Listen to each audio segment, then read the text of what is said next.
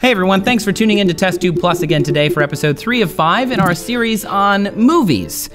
So far, this series, we've talked about how movies came to be and who invented them. It's not who you think, so make sure you go back. And it wasn't like Colonel Mustard in the whatever with the whatever. You know, it's it's more cool than that.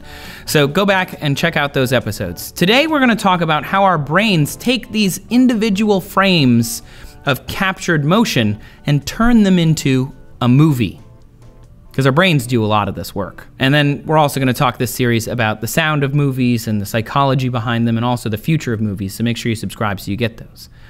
But when you watch movies, really only a few of your senses are being activated, right? I mean, with the first movies, it was really just watching them and then maybe somebody playing music in the auditorium you were sitting in. But how is it that individual still frames presented rapidly ends up giving us the illusion of motion because it's not really anything moving.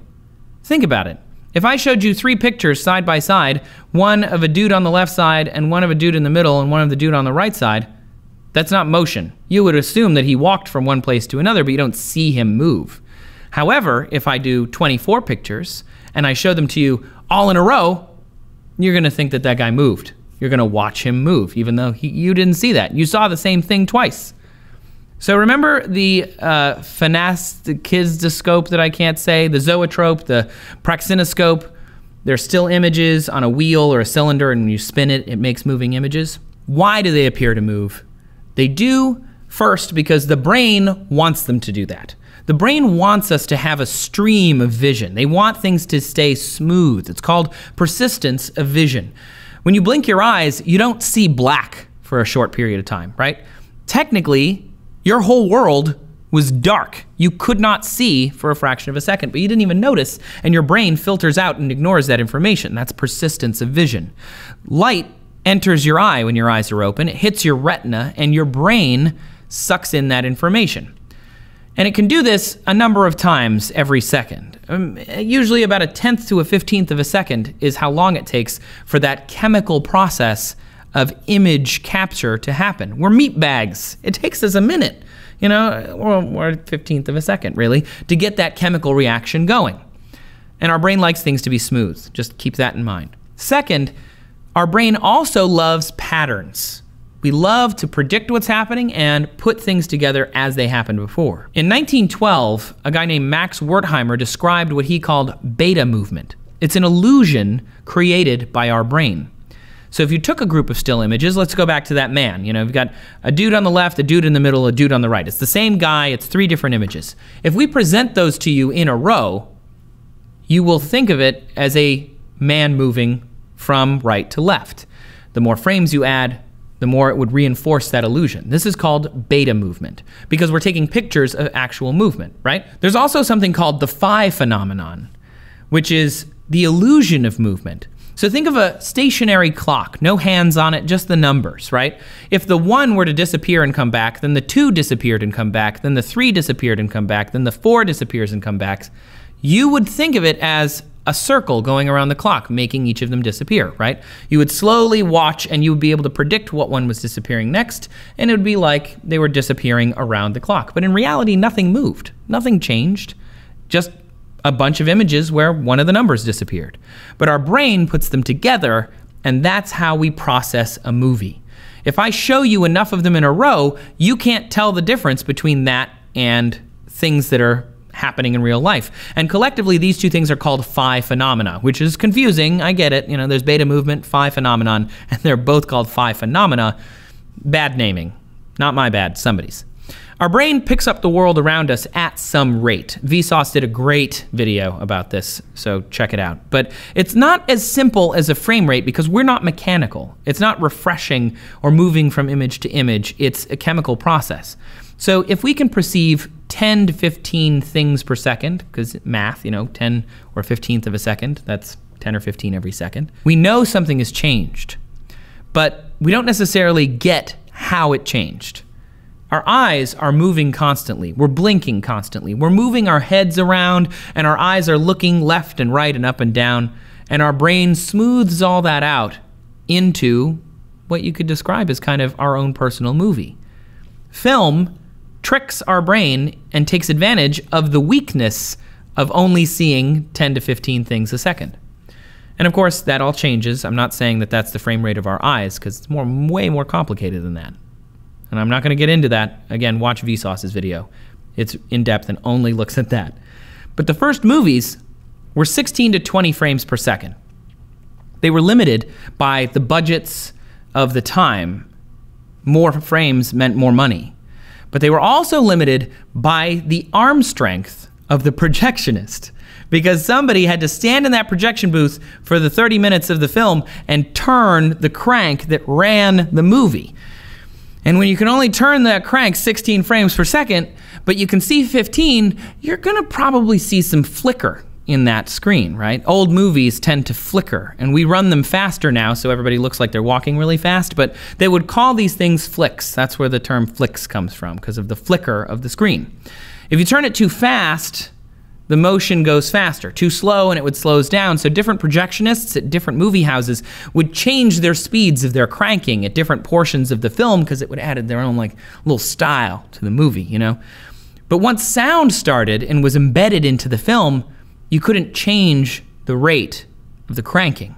So when you watch a movie today, they've kind of figured out 24 frames per second. That's the cinematic standard, 24 frames per second. If I showed you 10 images a second, you would absolutely notice. You could see it. It would look a little jerky, but you'd get it. Up to 15, you'd still notice, but between 22 and 26, you would be overwhelming what our eyes would be able to notice. You'd get less flicker. More than that, even less. However, 22 to 26, more than enough for human eyeballs. So, you get the least flicker for the price seriously, it's actually about the price. It was it was not 30 or 40 frames, even though that looked better, because more frames meant more film, more film meant more money. And 35 millimeter film could support audio at 24 frames per second, so the industry said 24 frames for everybody. It's the most cost effective. Fast forward to the modern day, as camera technology gets better, we can shoot faster than 24 frames per second. We can shoot way faster than that now. I mean, there are hypersensitive cameras that can shoot hundreds of thousands, million frames per second. At 60 frames per second, you're in the realm of most digital cameras. Your iPhone can do 60 frames per second. It's very smooth.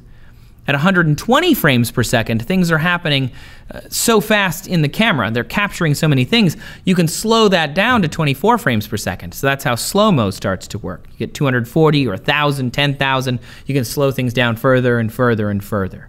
But it comes back to what our eyeballs can see with the chemical process of our eyes. 24 frames per second isn't actually that clear. It's kind of blurry, especially when things move. So if I wave my hand back and forth and you're watching this on YouTube, then you would see a big blur, right? Because you're only getting 24 frames per second. But The Hobbit that new movie, three movies, uh, they shot that at 48 frames per second. It made it much clearer. Each image is a little sharper, and a lot of people hated it. a lot of people hated it because it didn't feel cinematic, whatever that means, which really just means the cheapest amount of frames for the money. More frames remove motion blur, and action scenes feel crisper. But each frame may have less blur, and we're used to that blur. It makes us comfortable. According to this incredible blog I found over on Accidental Scientists, 48 frames might even be the ideal number. So what this person did is they took the slight vibration of the human eye, uh, because they're constantly vibrating, and the distance between the cells in the fovea, the part of the eye where you see the best, and then the distance between the cells inside of the fovea, the rods and the cones. If you use the vibration and the cell distance, you should be able to perceive 83 frames a second and change. However, if you want to be cost effective, cut it in half, 48 frames per second. It's the perfect amount, according to this guy. Go read it, it's awesome. There's something else about movies, though, that we haven't touched on in all of this. Once you were able to capture all of these frames and you can do all of this stuff, filmmakers started to realize they didn't have to do it all at once. They could cut the film, literally cut it with scissors, and tape it back together and be either closer to the subject, farther away, or in a whole new location. So, life doesn't do this. So, we should freak out when this happens, but it turns out it's a little more complicated than that. I read this fantastic essay by a guy named Jeffrey Zacks, and he found two researchers, one from the University of London and one from the Knowledge Media Research Center in Tübingen, Germany. And they wanted to find out why we don't freak out when we see jump cuts, the cuts between one place and another. So they took video equipment to remote villages in Turkey that didn't have TVs. They weren't familiar with watching jump cuts. And they showed them short movies that they'd made with their local actors and they added cuts into them. And this was the first time that these people had ever seen it. So they wanted to know what they would do, how they would react. And honestly, didn't bother anybody. They didn't even they didn't really notice. And in fact, some people had trouble following the change in the scene, but for the most part everybody was okay. They didn't even they didn't even think about it. Which comes back to how our eyes process the world around us. If you move your eyes really fast to the left and to the right, you don't see a blur of motion left and a blur back right again. If you move your head back and forth really fast, you don't see a blur of motion left and right. It's sort of like your brain jump cuts it. You go from one place to another a smooth stream, remember? Movies do affect us because we're perceiving them in the same way that we perceive anything else. Our evolution did not resolve itself to watching fictional motions. And I feel like I say this a lot humans are advanced social primates. So when we see faces, we'll mimic them, and we see things in movies and we start to think of them as real. We mimic facial expressions of what we watch. And just this weird ability to suck in all of this information and process it turns us into an obvious art form of storytelling. But it's not all about seeing stuff. The first thing that I learned when making videos is the most important part of making good video is good audio. And we're going to talk about that tomorrow about the audio on movies. Let us know down in the comments how you felt about Test Tube Plus this week. Should we do any other topics? Because we want to hear from you guys. Also, make sure you subscribe if you haven't already. I've been looking at our analytics, and a bunch of you don't subscribe to the channel. We love you guys, but come on, shoot us some love. Subscribe. Button's right there. Super easy. Also, come find us on Twitter. You can find the show at TestTube. You can find me at Trace Dominguez. I really appreciate it. Love talking to you guys out there about our show and about the other shows that we do here at Discovery. So thanks so much. We'll see you next time on TestTube Plus.